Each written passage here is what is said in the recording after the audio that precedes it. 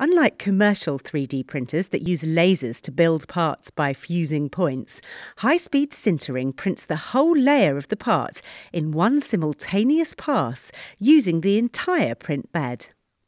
First, the 3D computer model is sliced into thin layers, and software pinpoints exactly where the part needs to be created.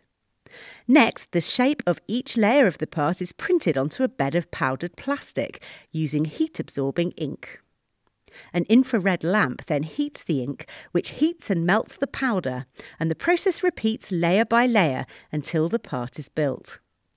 Parts are taken out of the unmelted powder for cooling, ready for finishing.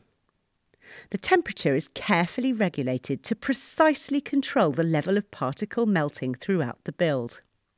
It's possible to print grayscale, varying the amount of heat absorbing ink used in different places to create fully functional parts.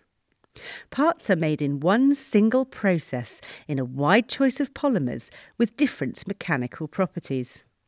They can be stiffer and stronger in some areas and more flexible in others, or stronger on the outside but lighter in the middle for lightweight aeronautical and automotive applications.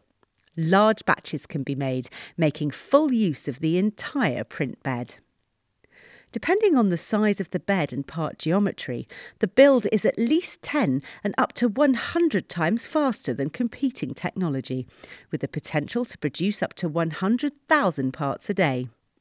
And freedom from tooling means much more complex parts can be built and redesigned on demand in higher volumes at lower cost.